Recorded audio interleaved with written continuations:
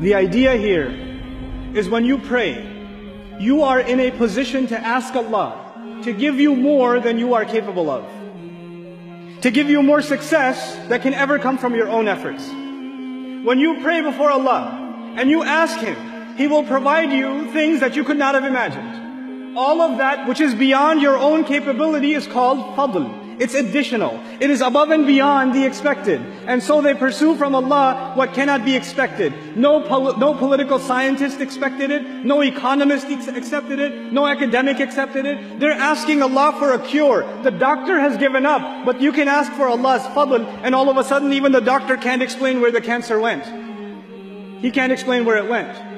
I have people I know in my personal life like that. I know people that were given three months to live. The cancer has spread all over the lungs. It's gone. You're, you just say your goodbyes.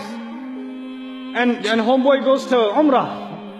And he just asks Allah, Ya Allah, if I get to live more, I'll just serve your deen. That's all I'll do. He told me himself, I'll just serve Islam if you let me live more.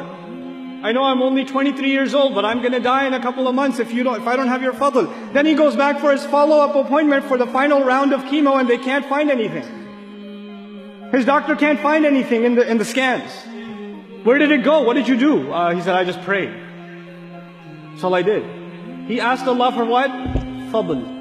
يَبْتَغُونَ فَضْلًا مِنَ اللَّهِ But when does the fadl of Allah come? When does Allah give you so much extra? How can He get rid of terminal cancer like that? How does He do that?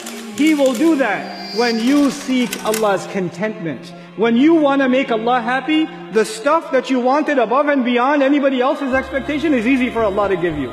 That's no big deal for Allah. You just need to seek to make Him happy.